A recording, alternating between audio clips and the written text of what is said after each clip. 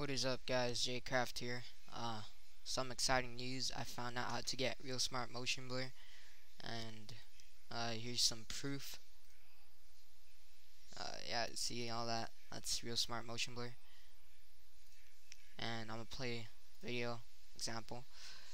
See, uh, you can see the motion blur right there. And I'm gonna play it one more time to make sure you see it. You can see the blur going whenever the gun moves and all that. It's not fake. No, here it is. I'm add another. No, RSMB. That's ReelSmart Motion Blur, and I will post a tutorial once I get a hundred likes, cause this is a really awesome plugin. It's just that uh, I'm the only one that has it,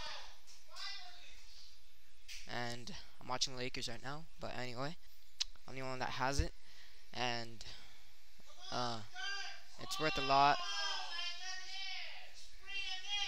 And yeah, I'll post a tutorial soon once I get 100 likes. And that's it. Thanks for watching.